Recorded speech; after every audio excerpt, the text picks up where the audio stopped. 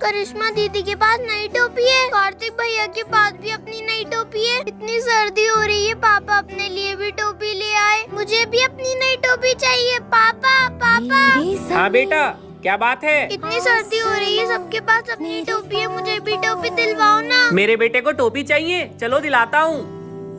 पापा वो रही दुकान। चलो दिलाता हूँ। ये ठीक है ना? ये ले लेते हैं। हाँ पापा चलो।